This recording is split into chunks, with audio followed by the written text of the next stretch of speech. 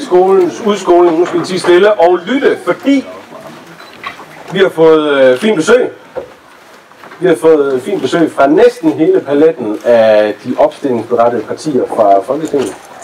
Vi har ungdomspolitikere på besøg, som rigtig gerne vil fortælle jer noget om, hvordan de forholder sig til de emner, som I faktisk har været med til at vælge.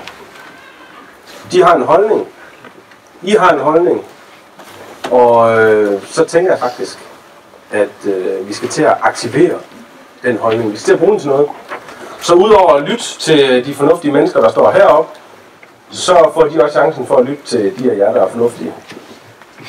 Og når vi er færdige med det, så skal I vide, at øh, I alle sammen får en valgseddel tildelt. En seddel, hvor I skal stemme. Og så kan I gå over til det bord, hvor I bare låne jeres øh, bøger. Og på det bord, der står der, hvilken overgang I skal stemme på. Så sætter I et kryds. Måske afspejler det kryds, hvem af debattørerne heroppe, der har klaret sig bedst. Måske det afspejler jeres generelle holdning. Uanfægtet, så sætter I det kryds. Og det gør I, når jeg siger til. Og så er det sådan set færdig for i dag. Så som de fleste af jer ved, så er der en debat på programmet nu. Og efter det, så er der en messe. Og efter messen, så stemmer vi. Der er ikke indlagt pauser. Bare så forventningsafstemningen er total. Tom vil åbenbart gerne knytte ord. Ja, fordi øh, jeg, jeg, jeg tror, det er vigtigt lige, øh, så er nej, Rasmus, at vi siger, at den stemme, de afgiver, Det er, ikke, nej, det er ikke en del af den der autentiske valghandling, vi har sagt, I skulle være en del af. Det er på torsdag. Det er der, hvor jeres stemme det ryger direkte ind til undervisningsministeriet, eller hvem det er, der modtager de stemmer. Så den valghandling, der foregår i dag, det er kun fordi, I har nogle kul- kulturfagslærere, der er lidt statistiknørder og gerne vil arbejde lidt med det efterfølgende. nogen er. Der er en kulturfagslærer, der gerne vil. Og det gør han. Godt. Vi, øh, vi skal til i gang. Programmet er således. Øh, jeg skal lige huske at citere. I har to mikrofoner. Jeg håber, I kan, I kan dele om det på, på den vis. Det er sådan, at øh, jeg rigtig gerne, udover at byde jer velkommen, selvfølgelig vil høre lidt om jer. Jeg tænker, det vil eleverne også. Så I får lige chancen for kort at fortælle, hvem er I, hvor er I fra, øh, hvorfor er I som I er. Det vil vi rigtig gerne vide noget om. Så skal I se en uh, exit poll, vi har lavet på 8. årgang, som, når jeg siger tilkalde, vi sørger for, at I kan se deroppe. Så øh, skal vi diskutere kortere skoledag i folkeskolen. Vi skal have fjernet topskatten. Nej, vi skal diskutere, vi skal have fjernet topskatten. Vi skal have snakket om aktiv dødshjælp, og hvis vi kan nå det, gratis psykologhjælp. Så alt handler om, hvor lang tid I snakker, og hvor mange spørgsmål vi har osv., og så ser vi, hvordan det går. Så noget med, at man fatter sig i korthed, man er præcis, øh, glimt i øjet og alt det der, som eleverne godt kan lide. Så det sørger I for. Jeg vil bare sige velkommen til skolevalg 2017. Jeg vil sige velkommen til en demokratisk begivenhed, som jeg håber, I elever i 8. og 9. vil tage med jer videre, når I på et tidspunkt rammer øh, den alder, hvor I faktisk må stemme.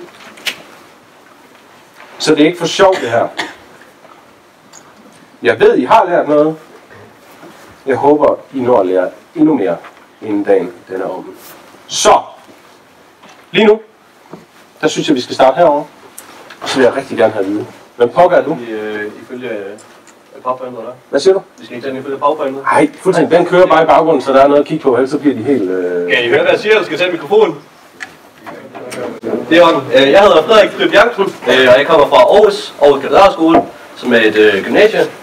Øh, Jeg er selv 19 år gammel, og jeg er medlem af Alternativet. Ja. Skal vi det? den Ja. Yes.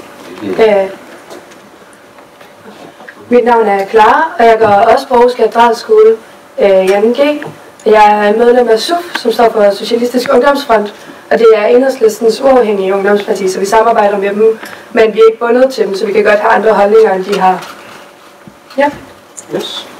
Hej med jer. Jeg hedder Kasper. Jeg er 19 år gammel. Øh, kommer fra SF's Ungdom. Øh, og til, til daglig arbejder jeg som ansat inde på SFU's dansk kontor øh, og blev student i Odense Katedralskole her til sommer. Jeg glæder mig til en debat med jer. Og med jer. Hej, jeg hedder Mads. Jeg øh, er 20 år, så går jeg på Handelsgymnasium inde i Aarhus, øh, hvor jeg også bor. Øh, jeg er medlem af konservativ ungdom, øh, og nu hører jeg, at vi skal forklare lidt om, hvorfor vi er, som vi er. Øh, det er sgu ikke helt let, øh, men jeg kan fortælle kort, hvorfor jeg, øh, hvorfor jeg er klart er konservativ. Øh, jeg er en konservativ, fordi der er nogle ting, som jeg synes er vigtige at værne om i vores samfund. Øh, en af de ting, det er, det er frihed. Men frihed kommer ikke alene. Vi har kun frihed, så længe at vi også tager ansvar. Øh, men det tænker jeg, at vi kommer mere ind på under debatten. Jeg glæder mig rigtig meget til debatten og hører også, hvad I mener. Og det tror jeg, det skal vi værne om. Altså sådan noget med, at alle er lige for lov, det er sgu ikke alle, der øh, gør det. Og at vi møder hinanden med respekt. Altså sådan nogle ting. Øh, også, vi skal værne om de ting, som gør, at når vi møder københavner, så kan vi alligevel identificere os i en eller anden grad med dem. Øh, selvom vi snakker lidt anderledes. Hej med jer. Øh, Jeg hedder Lasse, og jeg kommer fra Danmarks Socialdemokratiske Ungdom, eller Socialdemokratiet. Og øh, jeg er så heldig, at jeg, jeg får lov at være landsformand for, øh, for DSU. Det vil sige, at jeg lever af at lave politik og diskutere politik, ligesom vi gør lige nu. Det er, for mig er det lidt ligesom at være professionel fodboldspiller, altså at leve med interesse. Det synes jeg er helt vildt fedt. Øh, bortset fra, at det ikke er lige så fedt som at være professionel fodboldspiller. Øh, jeg er jo socialdemokrat, og det er jeg jo først og fremmest, fordi jeg tror på frihed. Men jeg tror ikke på, at frihed, det først og fremmest er om din frihed til at lade være med at betale skat, eller din frihed til øh, og gå med en peberspray, eller have nogle våben på dig. Nej, jeg mener, friheden først og fremmest handler om, at vi har lige muligheder. Altså, at jeg som øh, søn af en lastbilchauffør kunne få lov at få en studentereksamen, eller komme på universitetet, der det var det, jeg drømte om, at, fordi jeg interesserede mig så meget for politik øh, fra en ung alder. Øh, det er for mig frihed, at man har muligheden for at vælge den vej, man vil i livet. Og den frihed, den har vi bygget op i Danmark. Vi er faktisk måske det mest frie samfund i hele verden, selvom vi betaler meget skat. Ja, ja. Men så kan vi vælge den vej i livet, der passer til os, uafhængig af vores forældres baggrund og pengepunkt. Det er frihed for mig, og det er det, vi kæmper for øh, på Socialdemokraterne. Det er fedt med det, men vi skal bryde, vi skal bryde mønstre. Vi skal give alle. Og det vil vi gøre for eksempel ved at lave en folkeskole, hvor du er mindre afhængig af dine forældres hjælp til det. Øhm, jeg hedder Andreas Stakman, jeg kommer fra øh, Radikal Ungdom, og jeg øh, studerer statskundskab på Aarhus Universitet, og så er jeg øh, derudover øh, spidskandidat for øh, Aarhus Ungdom til kommunalvalget i øh, Aarhus. Jeg er medlem af Radikal Ungdom, fordi at jeg er socialliberal. Socialliberal for mig, det betyder, at vi øh, ønsker frihed, men ikke frihed for frihedens egen skyld. Vi, vi ønsker frihed under ansvar, ansvar. For eksempel så mener vi, at man skal fjerne topskatten, men, men samtidig så mener vi også, at, øh, at man skal have øh, gratis psykologhjælp til unge under 25, fordi vi også ønsker at tage et socialt ansvar. Så det er kombinationen af frihed og, og ansvar, der er helt afgørende for mig.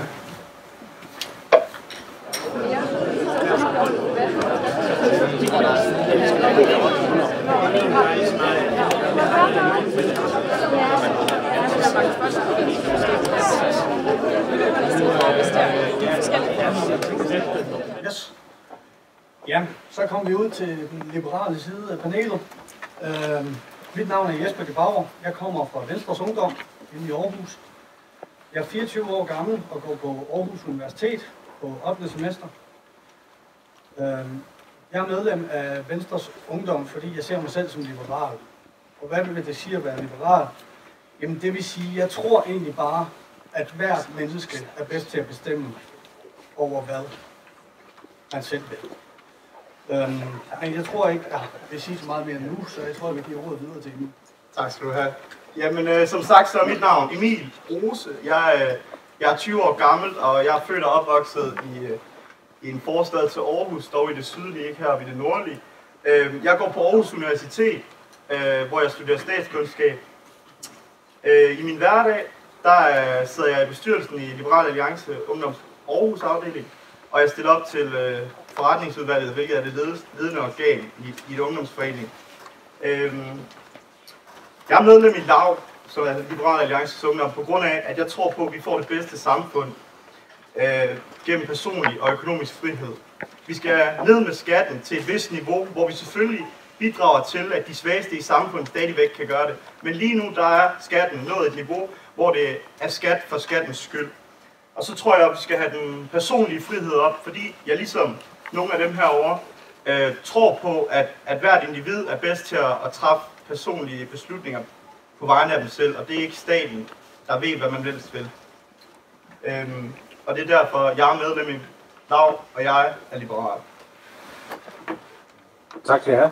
Kalle, nu skal du øh, gøre det, jeg bad dig om.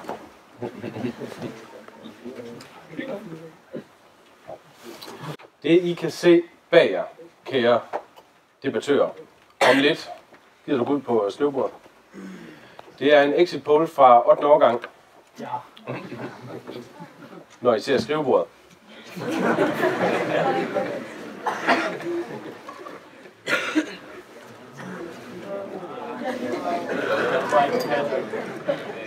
Ærgerligt. Nu kender jeg den, så er det fint, og så er det videre.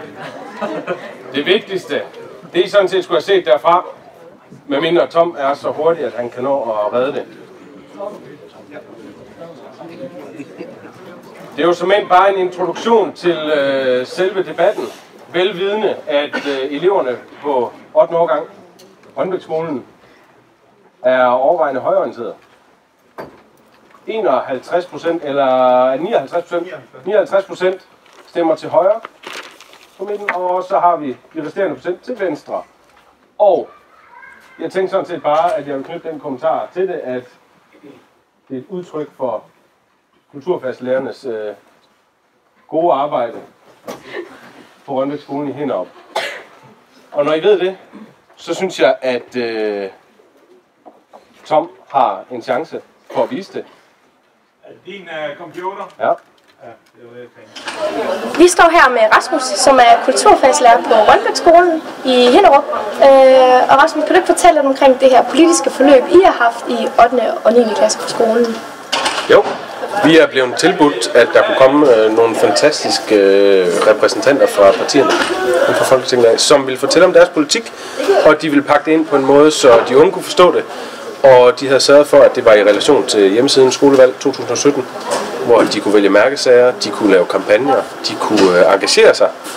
Og på baggrund af det, så kommer de så herud, og eleverne får mulighed for at stille spørgsmål. Debattørerne får mulighed for at repræsentere de holdninger, de nu har, ud fra de fire mærkesager, som vi har valgt, der er vigtige for os på Rønbæk-skolen. Og øh, det har været et skide godt forløb. Så hvordan har det været i spil i sådan ren undervisning op til, for jeg kan på nogle af de andre elever, at der har været et forløb op til os? Altså, vi har brugt årsplanen op, og så tænkt, at nu satte vi fokus på det her i det omfang, vi havde mulighed for det. I de klasser, vi nu havde mulighed for at gøre det. Og øhm, man kan sige, vi har gjort det på forskellige måder. Vi vidste, at endemålet var en diskussion eller en debat her. Både mellem øh, dem, man er enige med, og dem, som man er uenig med, men også mellem debattør og elev. Og jeg har sat meget fokus på, at vi skulle have baggrundsviden, ideologier, partier og personer.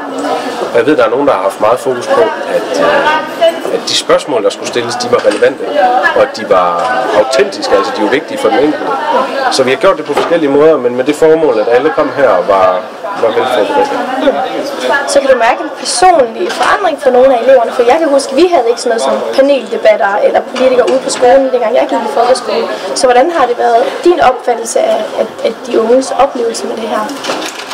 Jeg synes, at når man får tilbudt noget, hvor der kommer nogle mennesker, som rent faktisk mener noget om noget, og det ikke bare er et, øh, et bogsystem, vi bladrer igennem, så kan du sagt, du kan mærke forskellen med det samme.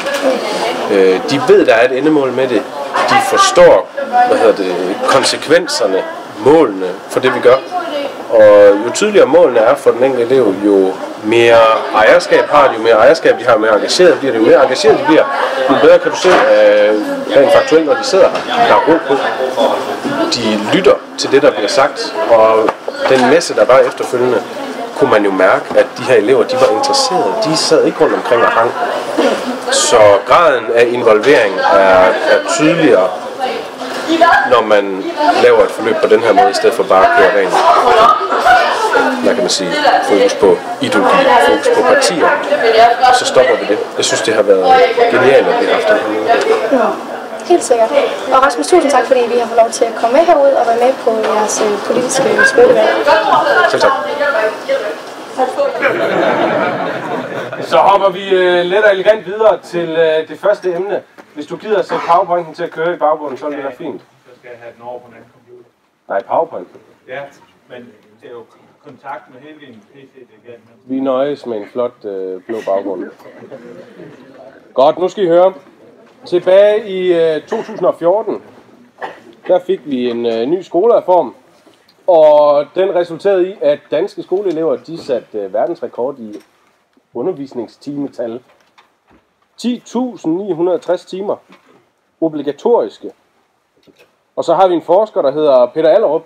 Han kommer fra Institut for Uddannelse og Pædagogik på Aarhus Universitet, og han udtaler til politikken allerede i 2013.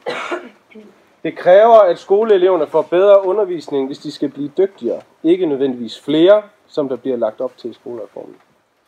Vi vil rigtig gerne vide til en start. Ved hjælp af de der enige og uenige skilte, som jeg håber, I gider at dele ud foran jer, så har jeg lavet sådan nogle smarte suppeholdere til, til de der svar. Om ikke I gider at placere enten et enig eller et uenig skilt i, at vi skal have kortere skoledage i folkeskolen. Der skulle gerne være en til hver.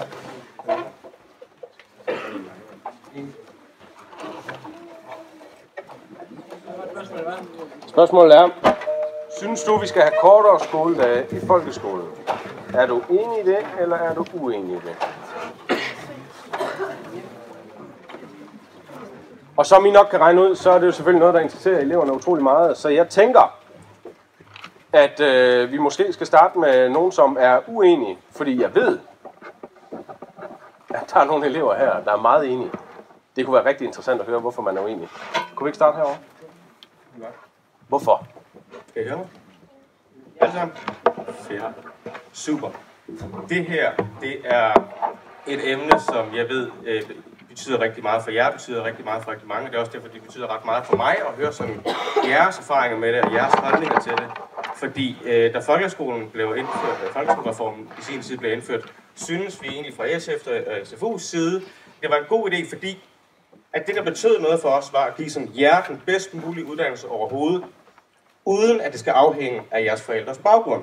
Fordi det, man har kunne se i forvejen, er sådan, at ud fra sådan, hvilken klasse man kommer fra, om man kommer fra en øh, familie, hvor forældrene er arbejdsløse, eller hvad de er lavt uddannede, måske ikke har så meget uddannelse, der er der kæmpe stor forskel i forhold til øh, børn, der kommer fra meget sådan, mere velhavende familier, og meget mere langt uddannede familier. Så vi kunne altså se sådan, din mulighed for selv at styre dit liv, din mulighed for at få en uddannelse i fremtiden, afhænger i rigtig høj grad af, hvor du kom fra. Og det er derfor, vi siger, okay, så lad os sørge for, at lektier skal betyde mindre derhjemme, så det ikke afhænger af, om du får hjælp fra forældrene.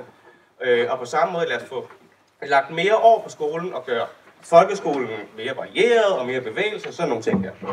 Problemet er, og det anerkender jeg, og det anerkender SFU og SF til fulde, er, at folkeskolereformen er fuldkommen underfinansieret. Og det er derfor, jeg tror, at de, jeg er sikker på, at der er rigtig mange af jer, der oplever sådan problemer med sådan, øh, at der ikke er læger, når man har sådan, øh, skal lave lektier i skolen og sådan nogle ting der, lektiecaféer. Øh, men det er også derfor, jeg rigtig gerne vil høre, hvad jeres erfaringer er med det. Og jeg synes også, I skal vide noget meget vigtigt så fra SF's side, fordi I skal jo stemme på moderpartierne. Og det her, det er SF Ungdomsholdning.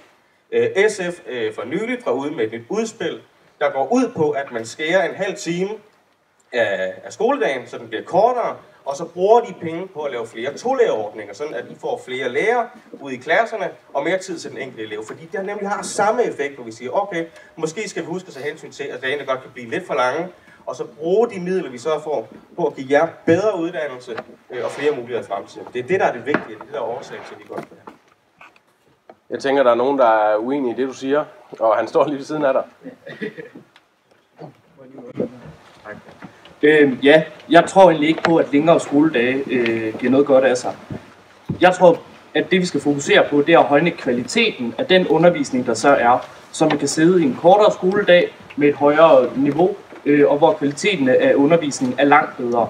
Vi kan se det fra Finland for eksempel. Finland for år på år kårede deres folkeskole som verdens bedste de har langt færre timer, end vi har. Det kan simpelthen ikke hænge sammen, at, at, at, få, øh, at få en bedre folkeskole, at man så skal have flere timer. Jeg tror blandt andet også, at vi skal kigge på, hvad det er for nogle timer. Jeg tror ikke, alle skal sidde med til lektiecafé. Øh, dem, som øh, sagtens selv kan lave deres lektier, eller har forældre, der kan hjælpe dem, eller skal til, det ved jeg ikke, øh, fodbold bagefter, de skal have lov til at gå og så selv ordne, hvornår de vil lave deres lektier. Jeg tror, vi skal kigge lidt ud over det her med antallet af timer, og så i stedet for at kigge på kvaliteten. Fint. Vi fortsætter bare. Hold kæft, det, altså det er virkelig nederen at skulle sætte sådan et skilt heroppe om, når I spørger, at vi går kortere tid i skole. Altså selvfølgelig, eller sådan, jeg håber, der kommer en mærkesag om, at vi skal have mere slik, så kan jeg være enig i den.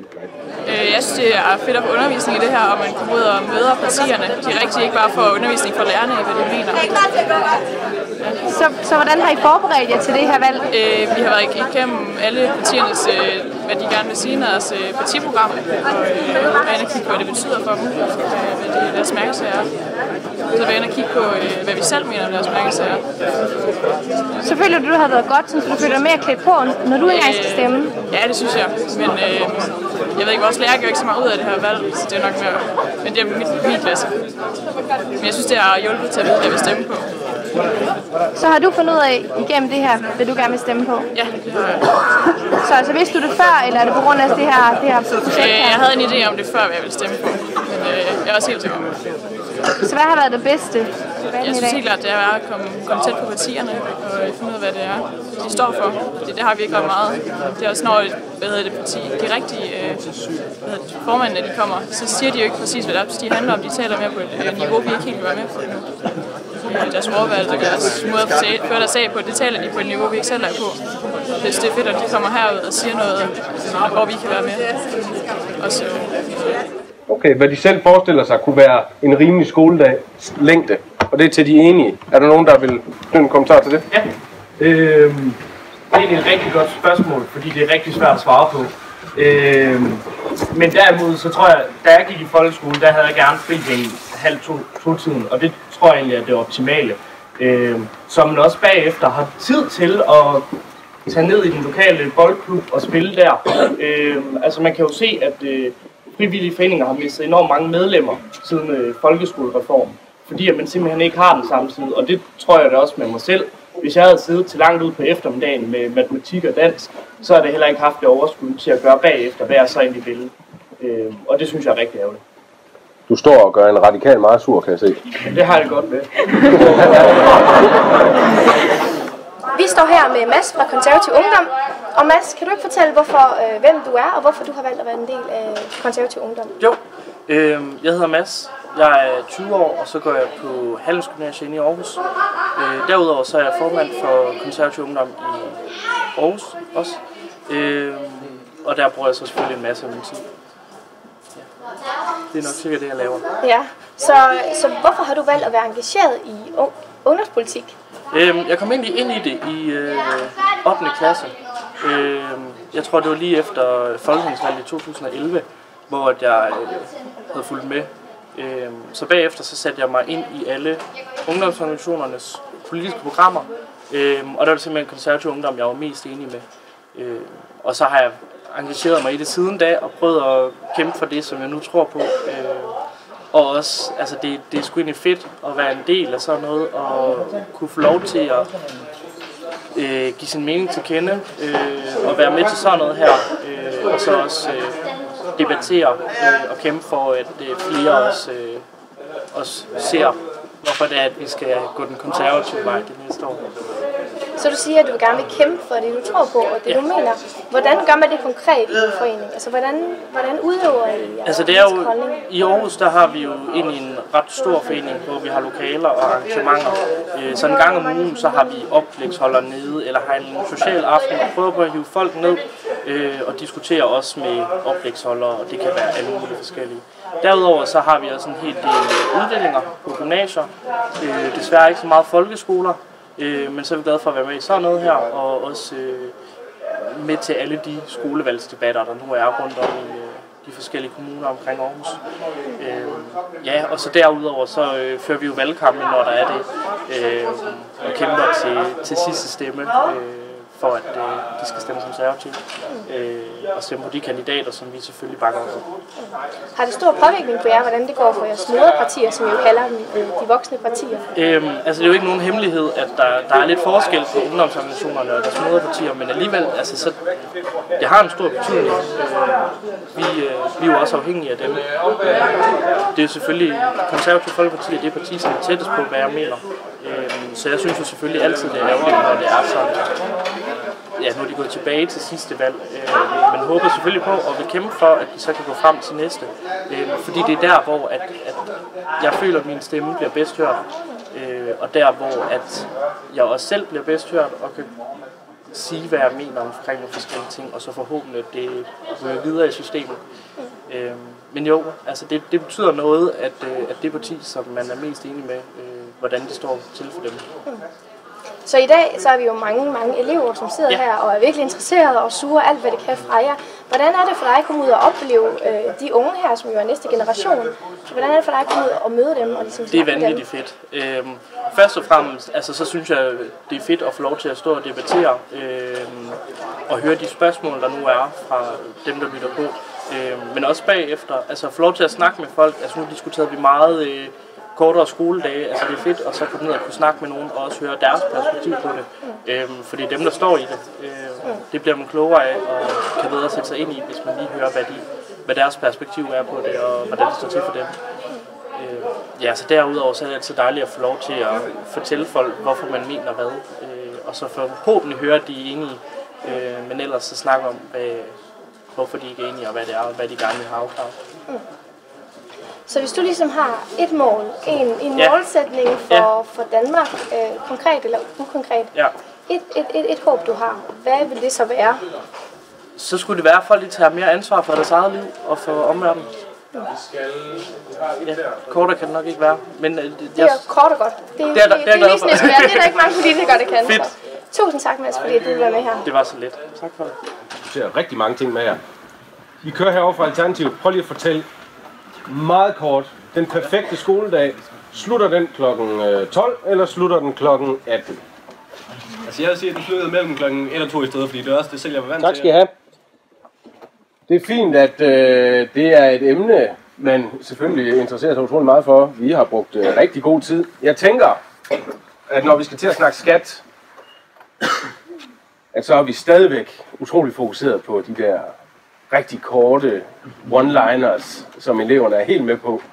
Øh, og så tænker jeg, jeg har nogle spørgsmål, som I kan forholde jer til. Og øh, så vil jeg sådan set bare starte med at læse følgende op. I Danmarks Statistiks opgørelse defineres en skat som en obligatorisk ydelse, der betales til den offentlige forvaltning og service, uden at denne giver direkte ret til en speciel modydelse, med det formål at finansiere den offentlige sektors udgifter. Dertil har vi indrettet et skattesystem, hvor vi har den her topskat. Jeg vil rigtig gerne have, at I øh, ændrer eller placerer øh, på samme måde de skilte, I har foran jer med spørgsmålet. Er I enige eller uenige i, at topskatten skal fjernes? Skal topskatten fjernes? Får man ikke noget?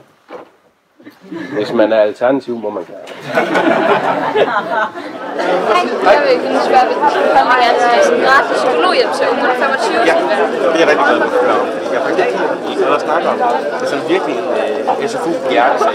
Og det, hvad er det sådan noget, jeg vil ja, det gør ret, hvad har det fået ret meget ind, også med det nye vores samfund, som presser unge ret meget, hvad kan hurtigt igennem uddannelsen, og flere og flere begynder på under det.